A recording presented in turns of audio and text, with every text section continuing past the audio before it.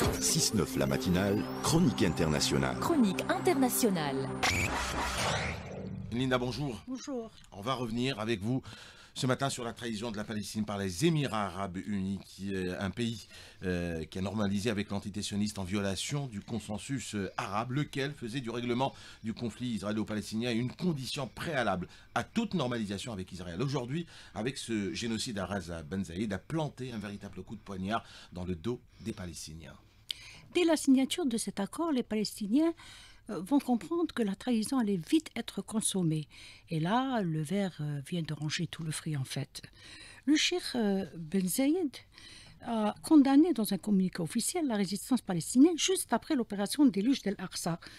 Et quand le carnage de Raza a commencé, les Émiratis vont carrément afficher leur soutien matériel à l'entité sioniste. Non contents de participer à l'effort de guerre, les Émiratis vont carrément participer à celle-ci en alimentant en armes et en carburant les bombardiers israéliens, tout en tentant de cacher leur duplicité et en pourvoyant en produits euh, maraîchers tous les commerces de Tel Aviv.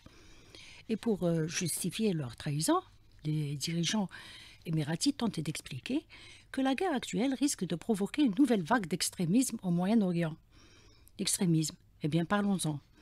N'est-ce pas Achir Ben qui a financé et armé des milliers de tarés venus des quatre coins du monde pour mettre à feu et à sang la Syrie, la Libye, l'Irak, le Yémen et les pays du Sahel?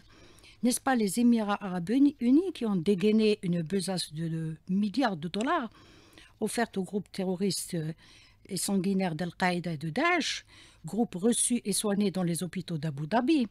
Ce sont bien avec ces groupes terroristes qu'ils ont tenu conseil de guerre contre la Syrie, l'Iran, le Liban, ouvrant les portes de l'enfer contre des États et leurs institutions pour faire plaisir aux Américains et à Israël, qui est en fait leur avant-poste au Moyen-Orient.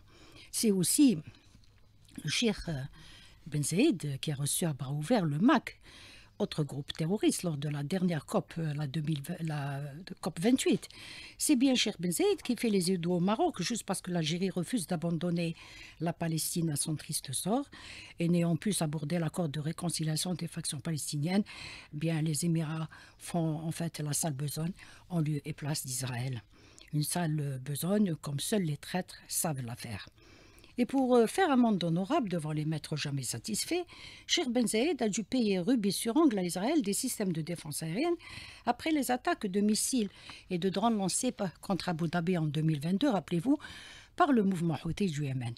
Mais Abu Dhabi n'est pas au bout de ses peines, tout risque de basculer quand Israël, qui est en train de perdre la guerre, va déposer les armes. Pourquoi? Parce que Gaza est une ligne rouge qu'il ne fallait pas se transgresser. Et ces résistants n'oublient rien ils prendront le temps de riposter en temps voulu. Le déluge d'Al-Aqsa l'a bien prouvé.